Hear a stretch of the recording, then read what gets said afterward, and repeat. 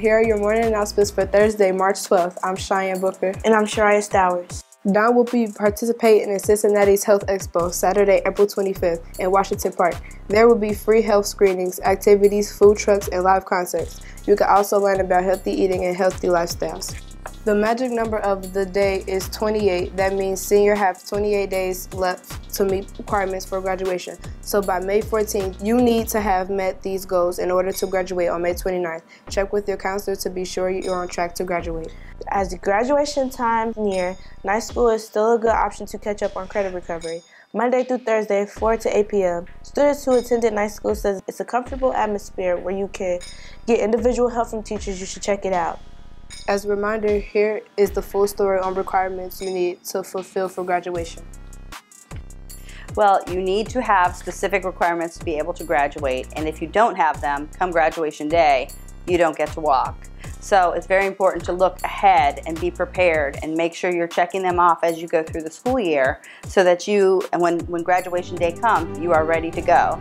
And um, you don't want to wait till the last minute because if that happens, you may be out of luck. Time may be out. So it's really important to be prepared and know exactly what you need. So the graduation requirements for the class of 2020 are Students must meet all state testing requirements by earning 18 points overall. And in those 18 points, they have to have at least four points in English 1 and English 2 combined. In Algebra 1 and Geometry combined, they also need to have four points. And in combining Biology, U.S. History, and Government, they have to have six points. If students are not able to earn all 18 points on their EOC tests, then they may choose to take an alternative pathway to graduation. In order to do this, students must have two attempts on all EOC tests and provide their counselor with two alternative pathways. In addition to testing, you need to have credits. You need four credits of English. English 9, English 10, English 11, and English 12. You also need four credits of math, Algebra 1, Geometry, Algebra 2, and Pre-Calculus, or you have the option of taking Bridge Math. For science, you need three credits, Physical Science, Biology, and Chemistry. Social Studies, you also need three credits, World History, U.S. History, and Government and Economics. You need a half credit of Physical Education a half credit of health, and one full credit of fine arts. In addition, you'll need to complete your capstone project. Finally, you will need a letter of acceptance of some kind. It can be from college, a trade school, a community college, or from an employer saying that you've been offered a position at their company on business letterhead, or you can have an acceptance letter to the military. Students will need to meet all of these requirements and have at least 20 credit hours. 20 is the big number. Students will need to earn additional credits in elective courses to make up to those 20. So make sure you get 20 credits and good luck.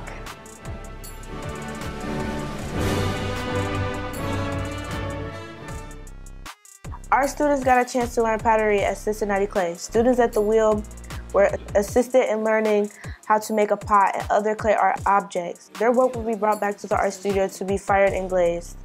Next Wednesday, you have an opportunity to discuss and listen to students our age at the World Cafe. It's an opportunity to have impact in the world around us and in our neighborhoods. It's at Crossroads Church in Oakley. See Mr. Cooper for details. Prom is still a few months away, May 1st at the 20th Century Theater, 8 to midnight. The theme is Hollywood Nights. Tickets are 40 each. Tickets are on sale now. No tickets will be sold at the door.